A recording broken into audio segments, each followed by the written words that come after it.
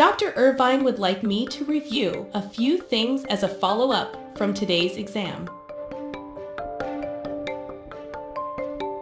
What is that? This is called a blood pressure cuff. It measures how strong your heart is. We have a large tray here. What is the best packaging method to prepare it for ozone sterilization?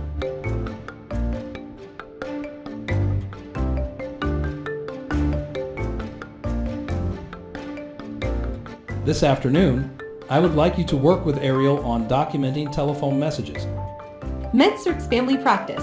How can I help you?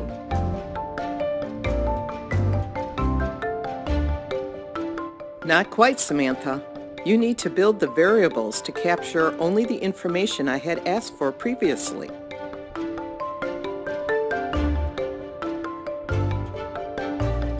Okay, Mr. Marcus.